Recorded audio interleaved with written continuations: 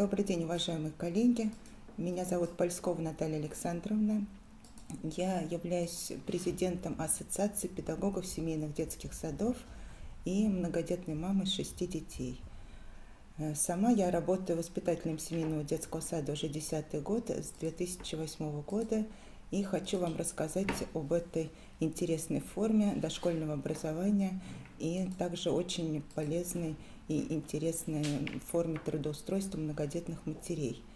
А, семейные детские сады представляют собой следующая вещь. Это не самостоятельное юридическое лицо, это структурное подразделение действующей образовательной организации муниципального детского сада. В Москве сейчас это действующее подразделение школы, потому что детские сады соединены со школами – Открывается это как группа детского сада, но группа своеобразная. Воспитателем в этой группе является родитель, законный представитель детей, а дети из многодетной семьи, дети-дошкольники, являются воспитанниками этого семейного детского сада. Также, в отличие от обычной группы, группа семейного детского сада открывается по месту проживания э, многодетной семьи. Вот. А, что характерно, что, конечно, не в каждой многодетной семье, даже с большим количеством детей, есть трое дошкольников. И вот в Москве этот э, как бы момент решается следующим образом. Если в семье есть хотя бы один дошкольник, то семья может пригласить детей из других семей тоже поучаствовать в этом э, так сказать, сообществе, в этом детском садике, и в группу могут записаться дети любые эта группа разновозрастная. Единственное условие, что они должны быть, конечно, дошкольники, вот, и даже не обязательно из многодетных семей.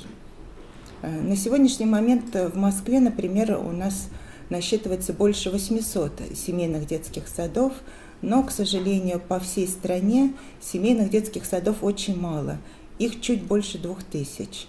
И большая часть из них находится в Москве и в Краснодарском крае – Хотя, конечно, эта форма дошкольного образования э, в реальности очень востребована многодетными семьями, потому что она ну, как бы отвечает на основные потребности семьи.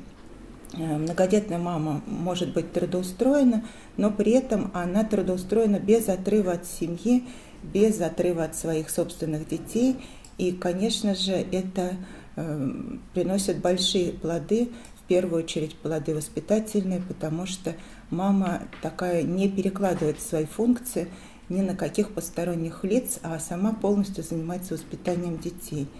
Я думаю, что никому не нужно объяснять и рассказывать, что, конечно же, для ребенка родная мама является, безусловно, лучшим педагогом и лучшим воспитателем, потому что она знает все его индивидуальные особенности, все, что присуще конкретному ребенку, и знает к нему правильный подход. То, чего так часто, в общем, мы ищем и не всегда находим у посторонних воспитателей. Ну и это понятно, потому что мама ребенка знает намного лучше. И чем еще интересен этот проект?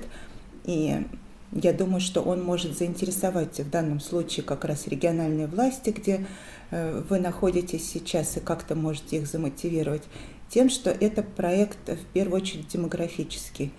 А, помимо того, что мама-воспитатель воспитывает своих собственных детей, у нее появляются уникальные возможности, я это хочу подчеркнуть, это единственная профессия а, в нашей стране, которая дает возможность а, спокойно продолжать свой род и рожать следующих детей, э, также без отрыва от производства, назовем это таким словом. Потому что мама находится опять же дома, и, в общем, очень частые в последнее время случаи, когда женщина-воспитатель семейного детского сада даже не уходит в декретный отпуск и благополучно рожает одного, другого ребеночка, и при этом у нее сохраняется трудовой стаж. И, конечно же, в общем, это большая э, польза для семьи и для самой женщины. Более того, э, понятное дело, что эта женщина даже мотивирована иметь еще больше детей, потому что до тех пор, пока у нее будут э, собственные дошкольники, она может продолжать э, свою трудовую деятельность как воспитатель семейного детского сада. Вот, поэтому здесь как бы это все обоюдно. И наша организация не так давно провела интересное исследование, и мы выяснили, что, оказывается, у воспитателей семейных детских садов, которые работают больше трех лет, в среднем в каждой группе родилось уже двое детей. А это, как правило, и пятые, и шестые, и даже девятые, и десятые дети в семье. Вот такие показатели. Ну, естественно, в какой-то семье родилось там больше детей, в какой-то меньше. Я говорю средний показатель. Но тем не менее это так. А это, конечно же, говорит о том, что такая форма может быть очень востребована многодетными семьями. Как нам многим известно, что далеко не в каждом регионе э, многодетная мама может найти работу. Э, связано это, конечно же, и с большой нагрузкой семейной. Э, часто женщина просто не может и не на кого ей переложить свои функции – вот. Но и связано это с менталитетом работодателей, которые неохотно берут на работу многодетных женщин. А что же в итоге получается? Получается, что а, вся, так сказать, нагрузка по финансовому обеспечению семьи ложится на плечи одного родителя, папы. Как мы с вами прекрасно знаем, что очень мало у нас есть таких а, работ, скажем так, э, которые могут действительно обеспечить очень большую семью. Как правило, э, зарплата большинства людей не рассчитана на то, чтобы содержать семью большую. То есть в лучшем случае они рассчитаны на содержание одного-двоих детей. Именно поэтому, э, когда мама может работать без отрыва от семьи, это, естественно, приносит очень большой вклад в семейный бюджет – это дает возможность семье выйти за пределы бедности, потому что очень часто, к сожалению, семейные, э, семьи с большим количеством детей э, во многих случаях приравниваются к семьям малообеспеченным.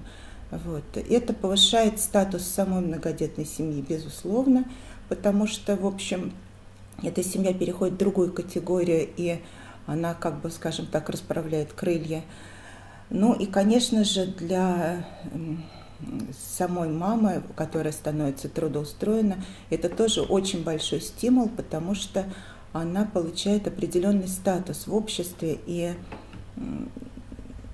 в общем, ну, скажем так, как это не печально звучит, но работающую маму почему-то у нас уважают больше, чем маму, которая работает мамой.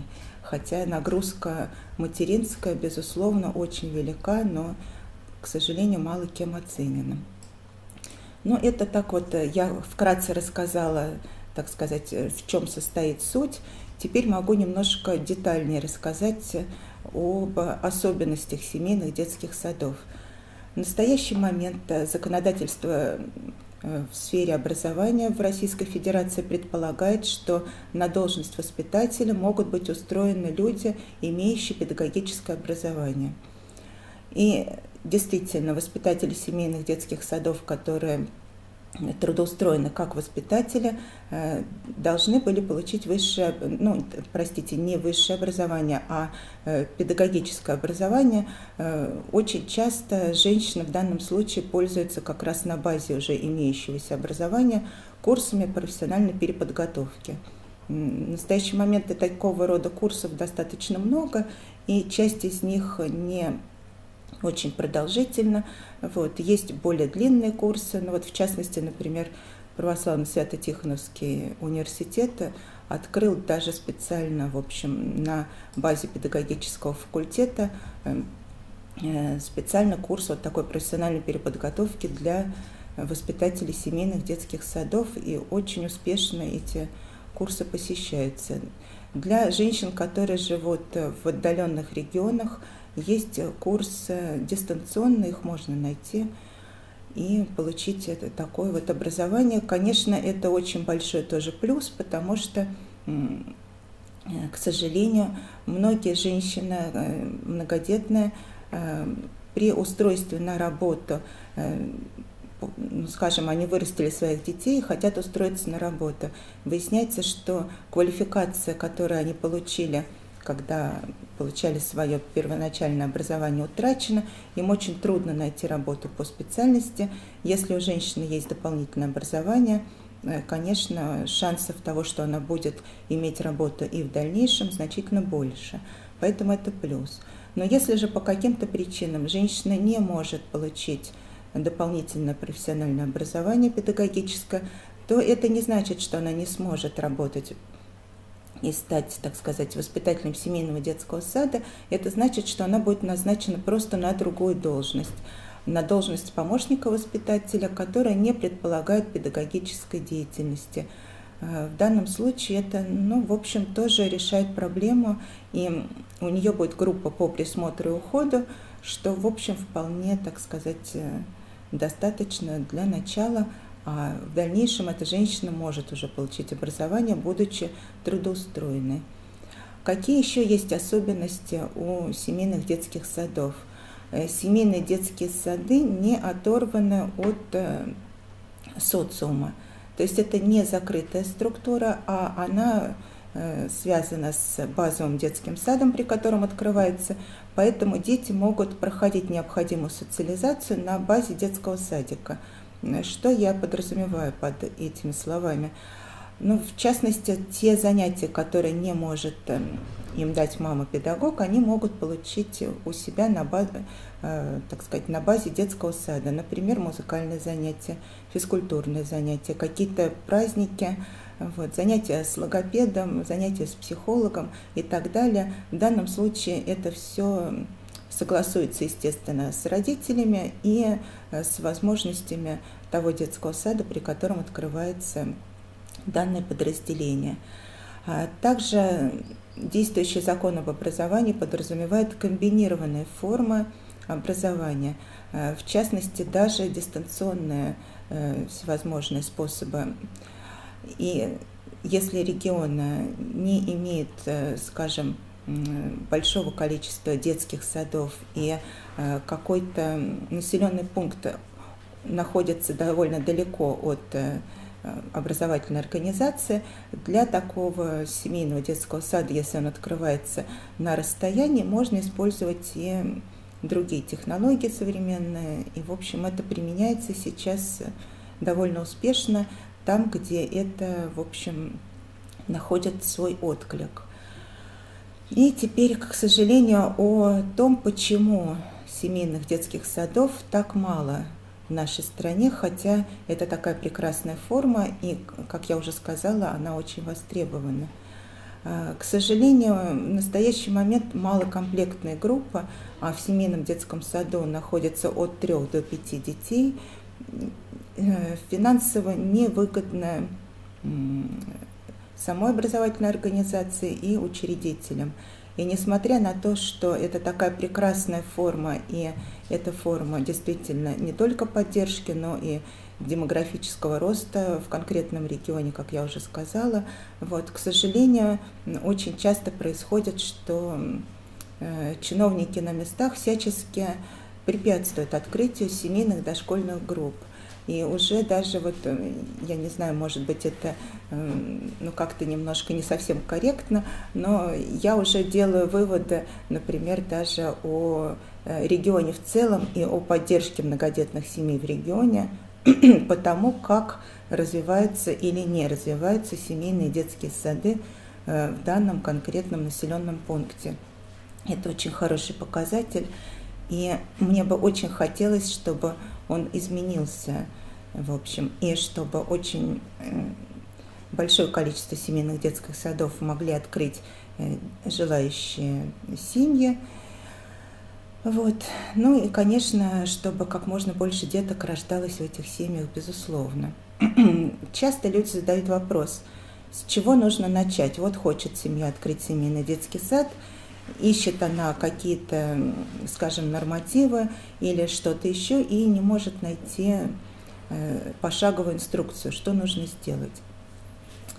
Э, в данном случае нужно в первую очередь обратиться в свое управление образования и поинтересоваться, есть ли такая форма э, в вашем регионе, существует ли какое-то нормативное положение, и если оно существует, то нужно с ним ознакомиться – Почему это так? А, к сожалению, у нас сейчас э, все образование, и дошкольное в том числе, находится в ведении регионов. Поэтому нет никакой единой системы, унифицированной для всей страны. Э, в каждом регионе создается свое положение, оно может э, очень существенно отличаться от положения даже соседнего города.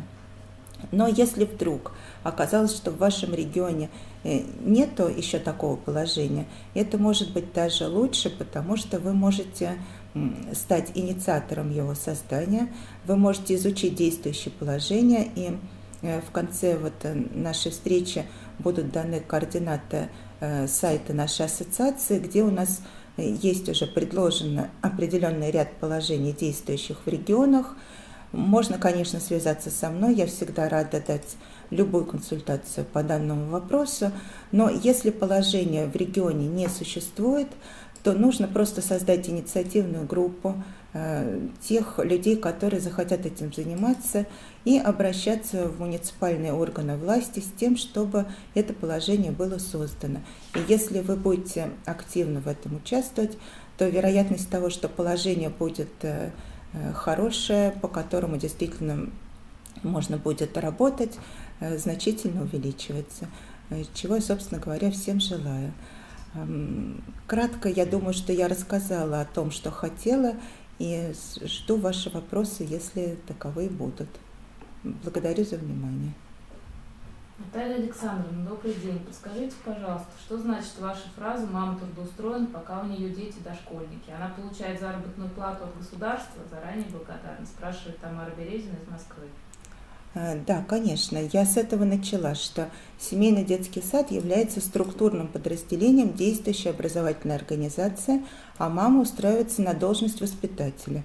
То есть эта мама-воспитатель устраивается воспитателем своей семейной группы, а по действующему положению московскому семейная группа, семейный детский сад может функционировать до тех пор, пока в этой семье существует хотя бы один дошкольник – то есть пока существует один дошкольник, мама может принимать в эту группу детей из других семей, соответственно, она трудоустроена.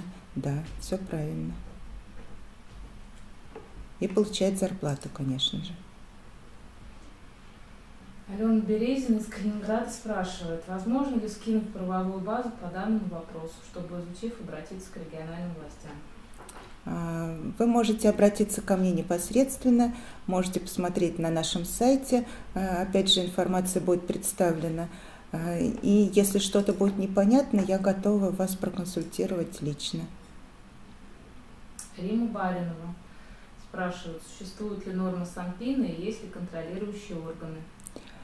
Да, существует. Для семейных дошкольных групп существуют отдельные санпины, Э, спасибо за этот вопрос. Дело в том, что, э, к сожалению, именно эта часть как раз э, чаще всего является камнем преткновения для открытия семейных дошкольных групп в регионах семейных детских садов, а, потому что большинство чиновников, к сожалению, располагают либо устаревшими сведениями, либо не утруждают себя Э, поискать сведения, так сказать, достоверные. В частности, самое распространенное заблуждение среди чиновников, что семейный детский сад не может быть открыт выше второго этажа, что в здании должна быть обязательно аварийная сигнализация, что помещение должно быть оснащено эвакуационным выходом. Особенно нелепо это звучит, конечно же, в больших городах, где люди живут э, в многоэтажных домах и так далее. Вот. В настоящий момент э, МЧС России дало разъяснение по этому поводу, и всем заинтересованным я могу выслать этот документ, что к семейным дошкольным группам применяются те же требования, какие применяются просто к жилым помещениям. Соответственно, если семейный детский сад открывается в квартире или в жилом доме, который зарегистрирован, который принят специальной комиссии, в котором живут люди, то никакого дополнительного эвакуационного выхода э, и сигнализации, тем более этажности, не требуется. А что же касается санпинов, то надо сказать, что, в общем, э, в данном случае э, санпины для семейных дошкольных групп значительно, как это сказать, проще, чем для обычных детских садов. И если их внимательно поизучать, то они вполне реалистичны, выполнить их можно. Но опять же, здесь, конечно, все зависит, к сожалению, от конкретного чиновника, потому что если как это не печально звучит, если наши чиновники захотят зарубить какую-то инициативу, они это делают профессионально и пользуются уже, конечно, теми же самыми санпинами. Но, в общем, в них нет ничего страшного, они тоже представлены у нас на сайте. Они вполне реализуемы. Благодарю. Наталья Русина из Иркутской епархии просит, просит уточнить. То есть детский сад мама открывает в своей квартире? Да, конечно. Возвращаясь еще раз к самому началу. Семейный детский сад не является юридическим самостоятельным лицом. В данном случае мама, воспитатель, который его открывает, не является индивидуальным предпринимателем. Я это подчеркиваю. Она является трудоустроенным воспитателем а, муниципальной образовательной организации. Но группа, в которой она является воспитателем, как правило, состоит либо из ее собственных детей дошкольников, либо из какого-то количества собственных детей дошкольников и приходящих детей, и место ее работы, место открытия этой группы – это адрес проживания многодетной семьи. Да, совершенно верно. Но в данном случае, если кого-то смущает э, э, сам факт, э, так сказать, нахождения в семье семейного детского сада, я просто кратко отвлекусь и скажу, что как раз-таки по санитарным нормам для семейного детского сада должно быть выделено помещение, где свободная площадь всего лишь 2 квадратных метра на ребенка. То есть в данном случае, если эта группа состоит из троих детей, то под нее вполне можно оборудовать одну единственную комнату э, в данной квартире, например, где проживают, конечно, еще другие люди. Ну, родственники, понятно. Вот. Елена Врублевская из Санкт-Петербурга спрашивает, могут ли объединяться несколько многодетных семей это позволит получить несколько воспитателей, работы посменно. Если мама заболела, например, как решается вопрос, если это мама воспитатель единственный? А, спасибо за вопрос. Э, к сожалению, э, такой практики пока не существует, чтобы мамы-воспитатели объединялись. Э, но поскольку, опять же, я повторяю, что в данном случае по аналогии это точно такая же группа как и группа обычного детского сада, то на случай, если мама действительно тяжело заболела и не может какое-то время заниматься детьми, эти дети имеют право посещать группу просто в детском саду по желанию, естественно, родителей. Если таковое желание существует, то на время больничного листа или даже на время отпуска мамы-воспитателя детям может быть временно предоставлено место в группе. Э, по аналогии я могу привести пример, что, скажем, э, летом детки в обычном детском саду э, в большинстве своем не посещают группы, и происходит некое перераспределение внутри детского сада. Скажем, часть воспитателей уходит в отпуск, часть группы расформировывается, и на время летних отпусков, летнего периода формируются такие вот временные группы. Э, вот такая практика существует. Денис Канаев из Красногорска. На каких основаниях образовательное учреждение может отказать в создании конкретной семьей семейного детского сада? Спасибо за вопрос. Дело в том, что оснований для открытия семейного детского сада в конкретном регионе основным основанием будет являться как раз-таки действующее местное региональное положение. Для того, чтобы изучить действующее местное региональное положение, с ним надо ознакомиться и посмотреть, насколько э, ваш случай соответствует этому региональному положению – а, почему я как раз-таки обратила на это внимание еще в, своей, в своем вот микродокладе? Потому что, к сожалению, именно в нормативах, которые рассматриваются в этом документе, э, часто скрывается как раз-таки вот э, тот момент, что не всякая семья может открыть семейный детский сад. Но в качестве примера я вам приведу, например, положение города Химки Московской области, которое, на мой взгляд, считается крайне неудовлетворительным в силу того, что оно носит отчасти запретительный характер и не дает большому кругу семей открыть семейный детский сад а, поскольку в этом положении есть такой пункт. Например, семейный детский сад может открыться в семье, в которой имеется трое собственных дошкольников на момент открытия. Это довольно редкий случай, когда в семье сразу одновременно есть трое дошкольников, а также при этом мама, которая претендует на роль воспитателя, э, согласно химкинскому положению, уже на момент открытия должна иметь законченное педагогическое образование.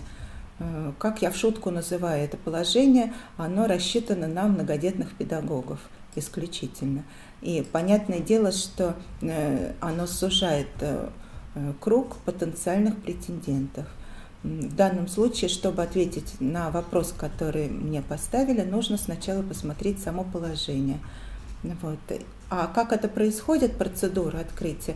Э, как правило, в семью, которая претендует на открытие семейного детского сада и подает соответствующее заявление, приходит комиссия. И вот комиссия должна принять э, как бы квартиру, э, провести собеседование с соискателем на должность воспитателя.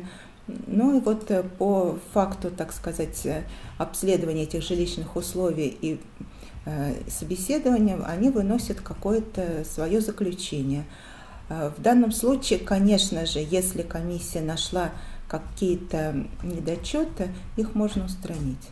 Э, то есть это не значит, что они приняли решение, и оно уже не подлежит э, никакому изменению. Часто бывает, что не такие сложные препятствия, которые устранимы, в общем, довольно-таки легко, если это так. Наталья Третьякова, Чебоксар. Можно ли вступить в ассоциацию православных педагогов семейных детских садов? И если да, то каковы условия? Э, спасибо за вопрос. Э, ассоциация, которую я представляю, она эм, не является, так сказать, не относится ни к какой конфессии. Я помогаю э, всем воспитателям и всем соискателям, независимо, так сказать, от их национальности и вероисповедания. А, в настоящий момент, если вы хотите со мной сотрудничать и с нашей организацией, вы можете просто написать мне на электронную почту, и я вам сообщу все, что для этого нужно сделать. Благодарю за ваше желание. А, будут ли какие-то еще вопросы?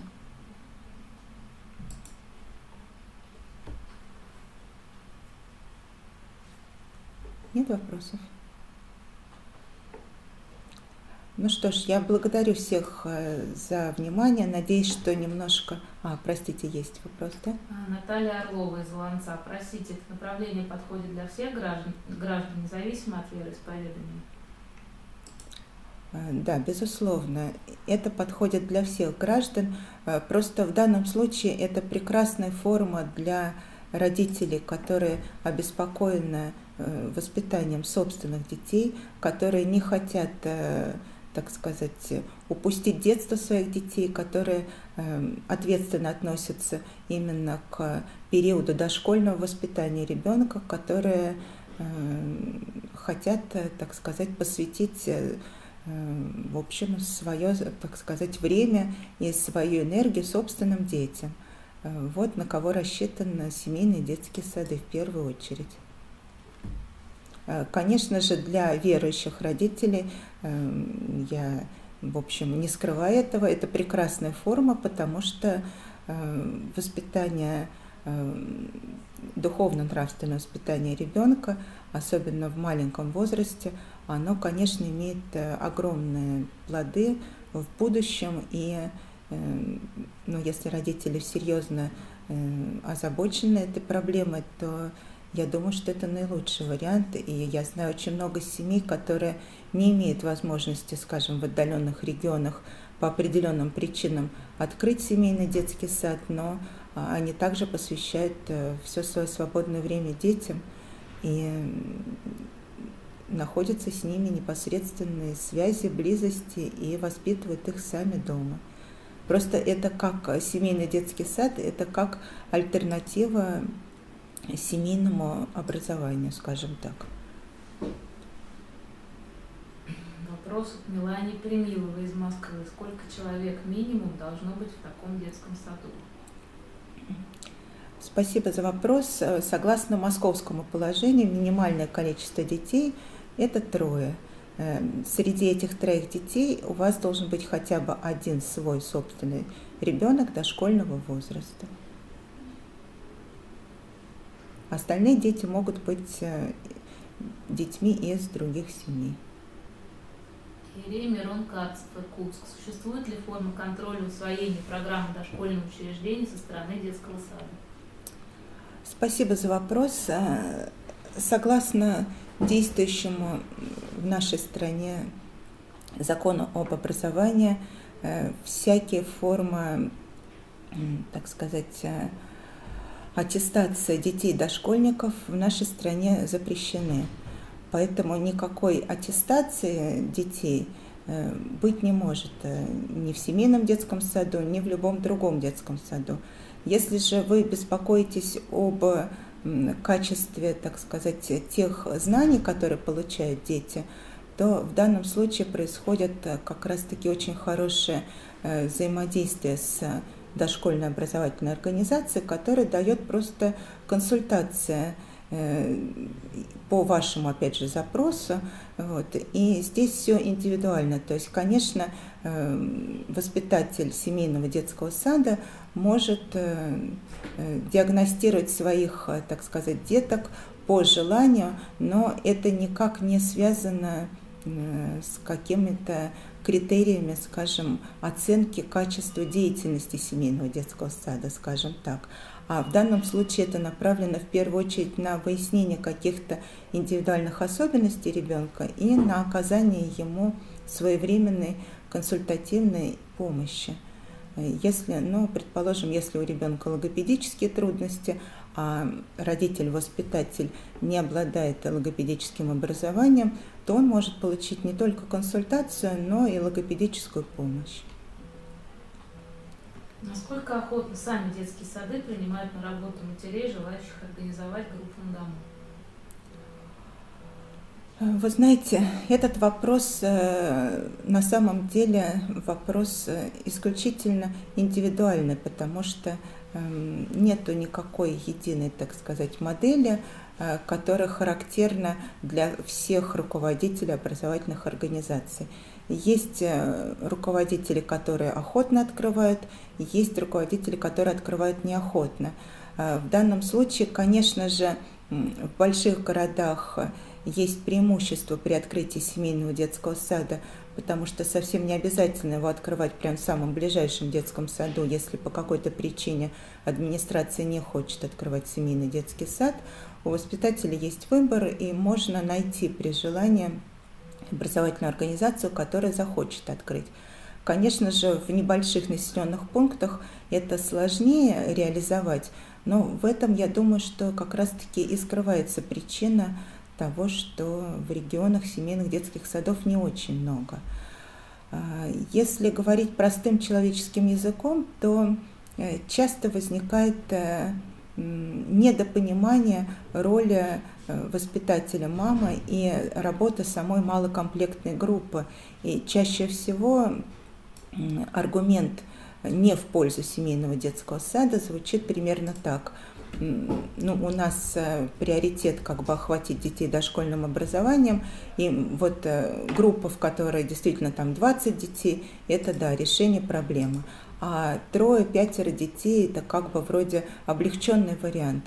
Но в данном случае это спорный вопрос, потому что если воспитатель в обычной группе э, работает не один, он работает в коллективе, и в данном случае этот воспитатель имеет, конечно же, и помощников воспитателя, он имеет педагогов, э, которые периодически забирают детей на какие-то занятия и также у этого воспитателя есть повар, есть уборщица, то все эти функции воспитатель семейного детского сада совмещает.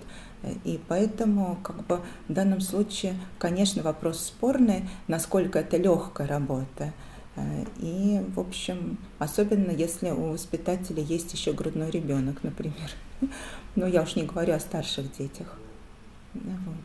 Но часто бывает такое непонимание, но это связано, конечно же, еще и с тем, что менталитет современных людей э, уже так устроен, что э, дошкольное воспитание ребенка в учреждении считается более чем нормой, более чем нормой, а воспитание ребенка дошкольника в семье а, ну, как бы, к сожалению, считается уже не всегда нормой, хотя в реальности все наоборот. И первые детские сады, которые создавались, они создавались скорее как вынужденная мера, а, нежели как необходимость. Ну вот э, здесь, конечно, есть такое противоречие. Спасибо. Надежда Тихонова из Архангельска. По образованию я специалист по работе с молодежью. У меня двое детей дошкольников. Могу ли я быть учредителем семейного детского сада?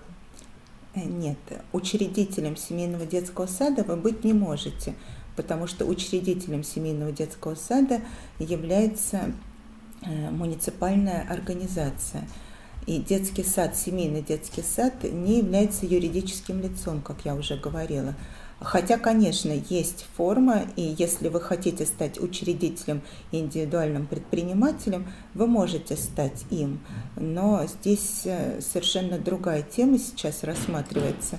Я не говорю об э, так сказать, индивидуальном предпринимательстве в настоящий момент, я говорю о трудоустройстве в должность воспитателя при муниципальной образовательной организации, но, так сказать, э, в группу семейного, так сказать, детского сада. Это разные формы, и лучше их не путать на самом деле. Евгения Любезнова спрашивает, какие формы контроля деятельности детского сада предусмотрены законом со стороны администрации детского учреждения? Спасибо за вопрос. В данном случае, опять же, я не могу ответить на него совершенно конкретным образом, потому что это зависит от многих факторов. Например, это зависит от устава образовательной организации, это зависит от положения, которое издает образовательная организация, когда она открывает первый семейный детский сад.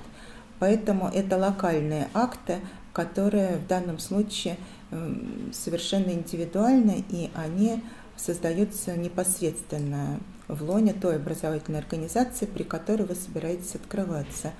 А, но если говорить о практике, которая применима в Москве, то, э, ну, опять же, у нас разные образовательные организации, и у них немножечко, э, конечно, форма как бы работа с семейными детскими садами не одинакова. Но что существует как отчет, например, э, педагогической деятельности воспитателя, то есть у воспитателя есть план педагогической деятельности, у него есть программа, по которой он работает образовательная. И, конечно же, этот воспитатель проводит э, либо открытые уроки, либо показывает какие-то мастер-классы. То есть э, взаимодействие с организацией существует, безусловно. Вот. Но в каждом конкретном случае есть свои нюансы, поэтому мне трудно спрогнозировать, что будет у вас, если вы откроете семейный детский сад. Кто несет ответственность за ребенка и есть ли минусы семейного детского сада? Когда ребенок устраивается в образовательную организацию, то родители заключают родительский договор с образовательной организацией. Если родитель является же и воспитателем, то, безусловно, он и несет ответственность за ребенка. Вот. Но поскольку он находится, э, опять же, в зависимости от образовательной организации и не работает самостоятельно, то, безусловно, образовательная организация разделяет э, эту ответственность. Э, здесь нет ничего противоречащего, так сказать, ни практике, ни здравому смыслу. Ответственность точно такая же, как какую ответственность несут по отношению к любому ребенку, который находится в дошкольной образовательной организации. Какие минусы? Трудно ответить на этот вопрос, но может быть минус, пожалуй, только один.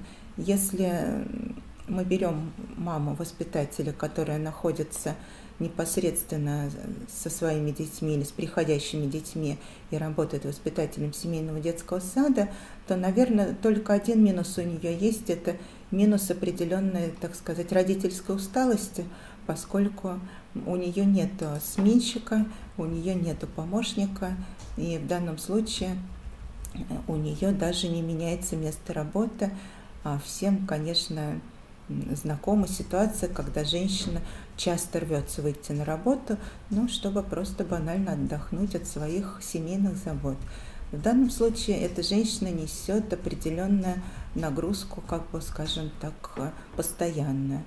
Но для кого-то это и плюс, потому что, эм, ну, как вам сказать, я в таком случае всегда говорю, что мы сами выбираем себе коллег по работе.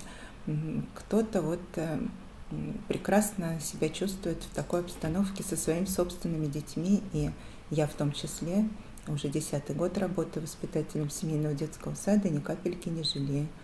И вижу плоды, так сказать, своих трудов. Анна Устюгова из Кургана интересуется, из чего складывается и как формируется зарплата воспитателя такого детского сада. Хороший вопрос, он скорее бухгалтерский, нежели, так сказать, для нашего круга. В настоящий момент э, ситуация такова, что даже в двух соседних детских садах, которые стоят на одной улице, э, нет понятия одинаковой заработной платы. Э, заработная плата в каждой организации теперь своя.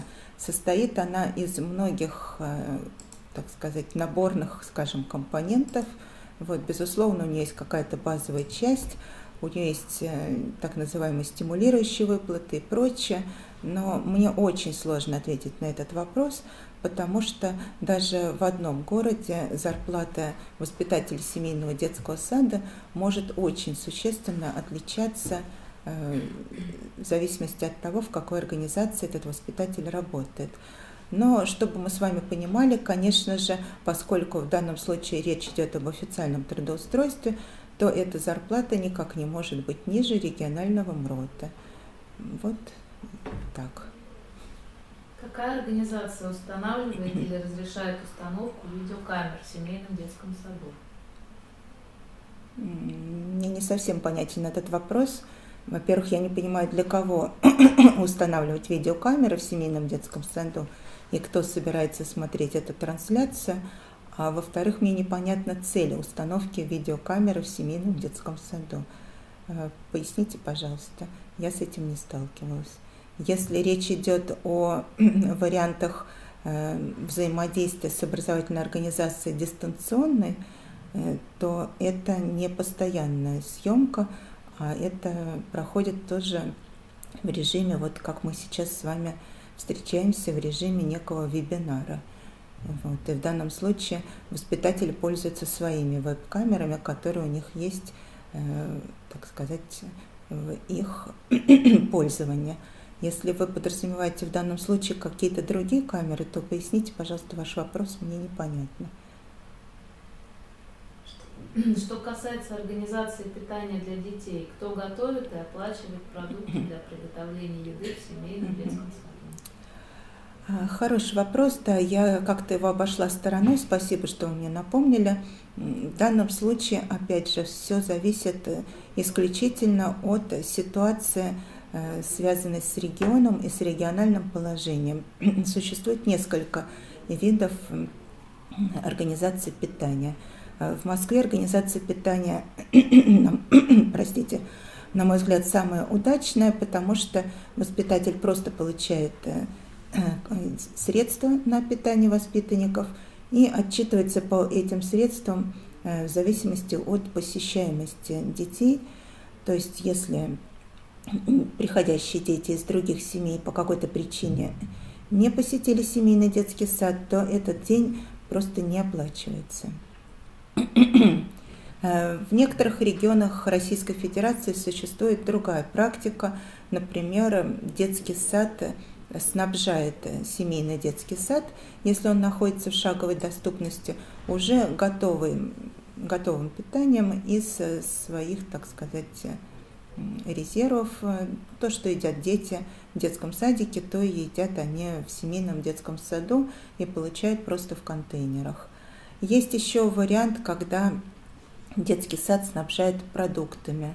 Э, семейный детский сад и воспитатель уже э, просто по меню, которое есть у каждого воспитателя, готовит из этих продуктов э, то, что он и должен приготовить сбалансированное питание. То, ту форму, которую выбирает регион, он выбирает ну, в зависимости от своих особенностей – а, Еще раз подчеркну, что самая удобная форма – это та, которую я назвала первой, когда воспитатель просто получает деньги на питание воспитанников и готовит на месте, потому что в данном случае, э, ну, естественно, в первую очередь учитываются индивидуальные особенности конкретного ребенка. Например, часто в семейных детских садах бывают дети э, с какими-то особенностями, предположим, с аллергией – и такому ребенку, конечно, намного лучше, если ему приготовят ту пищу, которую он может есть. В детском саду ограниченное количество ставок воспитателей. Воспитатели семейных детских садов нанимаются в штат сверх числа имеющихся ставок или как? Ну, вы знаете, этот вопрос, э, конечно, не ко мне, а к учредителям и к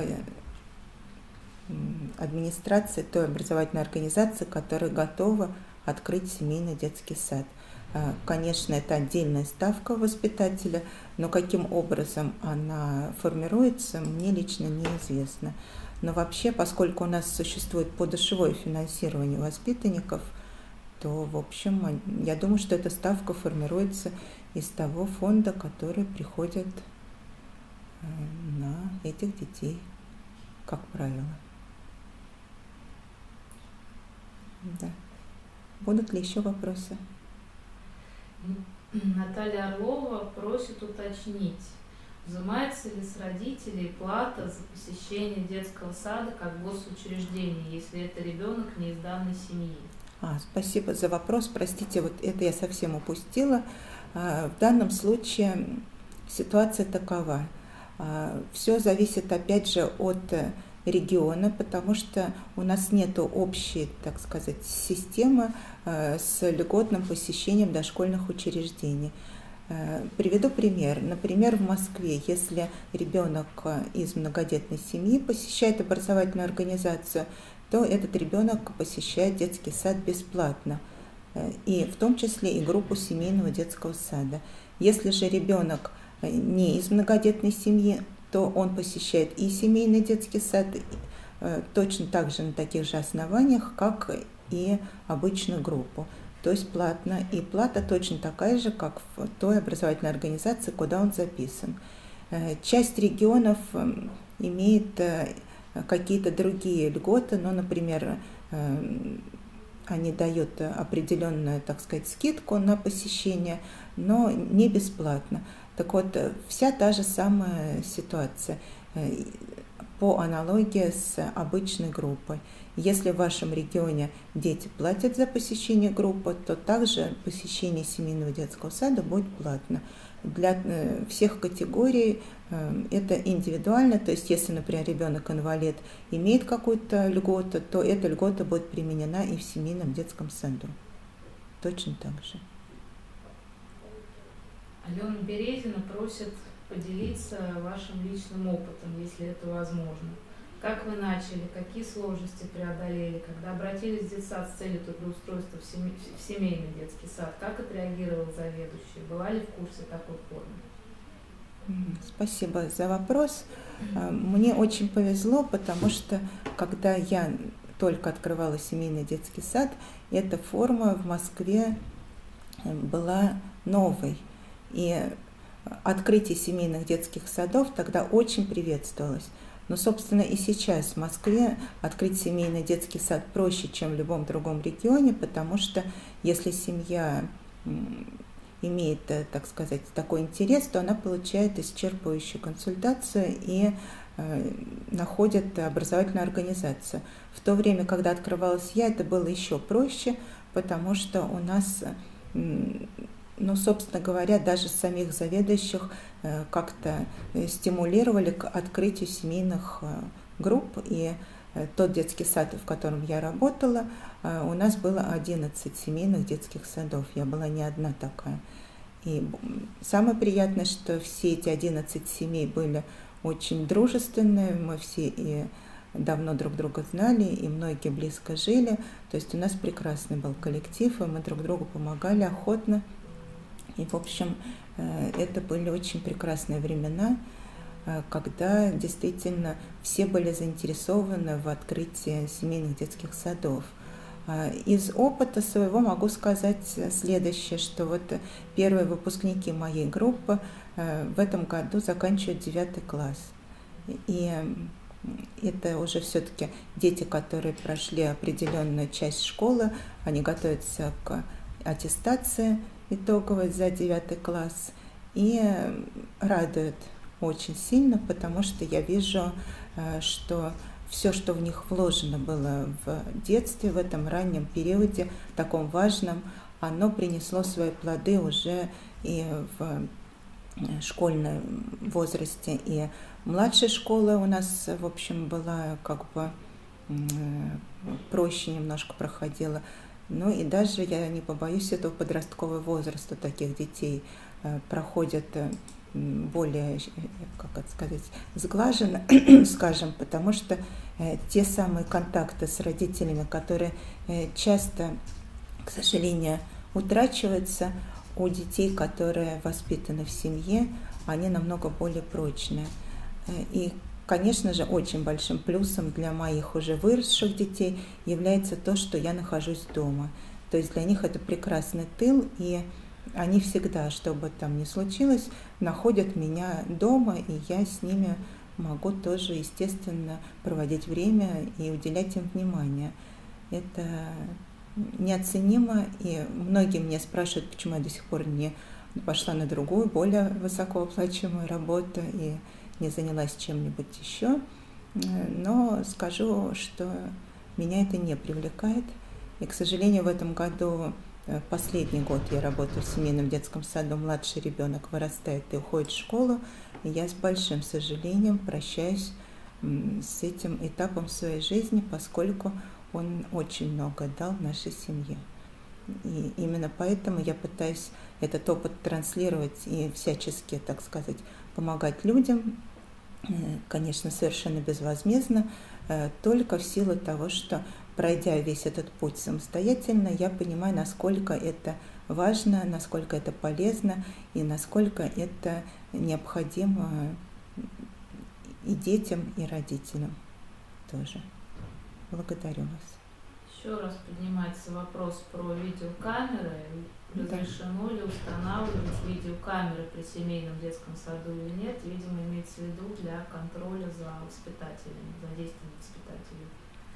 Вы знаете, это тот вопрос, на который я не могу дать ответ, потому что я не слышала о подобной практике установки камер, и мне не совсем понятно, зачем это нужно.